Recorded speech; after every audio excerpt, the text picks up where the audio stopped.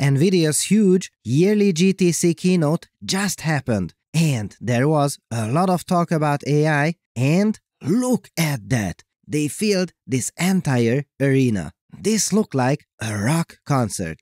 Yet it was a keynote on artificial intelligence. So, why all the hype? What was announced? Well, here are some of the highlights. From now on, you will be able to talk to a building, warehouse in particular.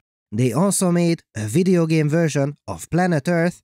AIs are starting to discover new drugs to defeat terrible diseases, and robots are training in virtual worlds.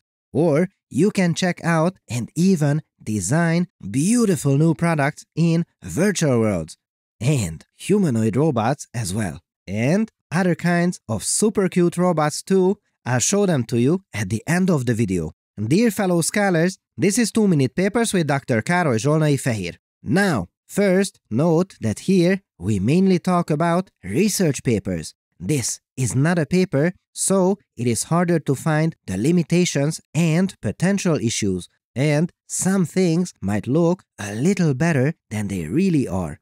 Please keep that in mind for this video. So, first, they showcased gear and then some more gear, and then, of course, even more gear. Here they showed how one can go from just one chip to building an entire data center. Okay, but what do these chips really do? Well, for instance, my favorite, they run simulations. If you look here, yes, all of these are computer simulations, many of which you can run at home and in real time.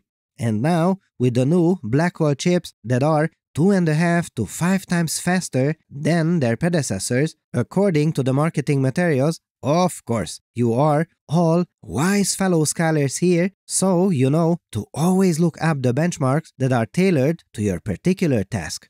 However, wherever we look, the speed up on AI related tasks is absolutely breathtaking. Over the last 10 years, from both software and hardware improvements, we got a speed up of 10,000x. Yes, things got 10,000 times faster. In 10 years, we went from giving the computer an image of a cat and it being able to recognize that it is indeed a cat. To now, 10 years later, we can turn this problem around, which is mind blowing. We now write the text and it does the image synthesis and video synthesis. That is so much harder. And it gets better. Today, we can perform everything to everything sound, 3D models, whatever you wish. And the 10,000 times speed up also means that these simulations can get even more sophisticated. So much more that an entire factory can be designed digitally and many different imagined layouts can be tested before the factory is built, increasing worker efficiency by around 50%. Okay, all this happens on paper.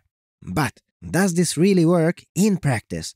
Can you really know if these factories are built correctly? And the answer is yes. As it is being built, we can check it against the simulation and verify if it was really built correctly. That is absolutely incredible. So, what else can we do with all this insane computational power? Well, here's a crazy idea. How about creating a digital video game version of the whole planet? Here, AI assisted physics simulations can now forecast storms and typhoons. But it gets better. You can immediately get not just one prediction, but you get the best case, worst case, and the most likely case at the same time so you can prepare earlier.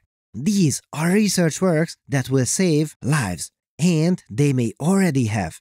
That is absolutely amazing. Their current version is optimized for Taiwan and will be available everywhere. But in the meantime, scientists at Google DeepMind already have a paper that can also do similar things really well. And it can even run in your pocket. Computational drug design is also getting better and better. This means that an AI would propose new kinds of medicines and do a virtual screening for them. And this is a really complex area which I thought would take many decades to come to fruition. But just yesterday, I heard an interview from Demis Hassabis, CEO of Google DeepMind, and he said the first fully AI designed medicines might appear in the next two years. Wow! Once again, the papers saving human lives. What a time to be alive! Now we can also put robots in these warehouses and not only that, but we can even simulate not just the warehouse, but now with workers and robots interacting in there. This is really cool because we can simulate potential problems and teach them to adapt to new situations if something unexpected happens. For instance, to find a different route. And remember, all of this is a simulation. And we talk a great deal about speedups, so today that is not even the limit of what this technology can do. It can also help visualizing and simulating huge engineering projects. And by this, I mean really huge. Now, hold on to your papers, fellow scholars, because this simulation contains the interaction between 7 million parts. Stunning work. Wow! You can also use this to dream up and design new products. And I have to stop here for a moment because this is incredible. I am a light transport researcher by trade, ray tracing if you will, and simulating the appearance of these used to take weeks on supercomputers. Now, many of these run in real time on your own machine. And the material models here are absolutely gorgeous. And don't forget, you can mix it together with generative AI, text to image, or text to 3D models. And these can also be streamed to Apple's new shiny Vision Pro glasses. And finally, they also announced the next frontier, a model for planning the actions of humanoid and all kinds of other robots. These can be trained in the simulated video game worlds too. Or they can also learn from human demonstrations. And now, through the power of the ChatGPT-like large language models, they now also understand us when we talk to them. Come on, you guys, let's wrap up. Let's go. Five things. Where are you going? I sit right here.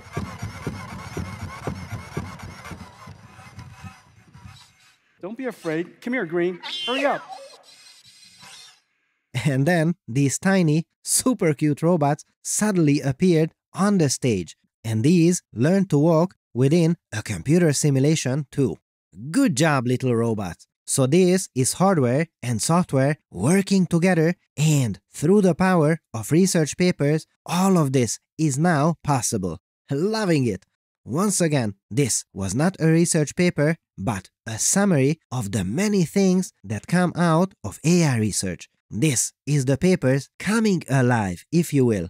If you're looking for inexpensive cloud GPUs for AI, Lambda now offers the best prices in the world for GPU cloud compute. No commitment or negotiation required. Just sign up and launch an instance. And hold on to your papers because with the Lambda GPU Cloud, you can now get on-demand H100 instances and they are one of the first cloud providers to offer publicly available on-demand H100 access. Did I mention they also offer persistent storage? So, join researchers at organizations like Apple, MIT, and Caltech in using Lambda Cloud instances, workstations, or servers make sure to go to lambdalabs.com slash papers to sign up for one of their amazing GPU instances today.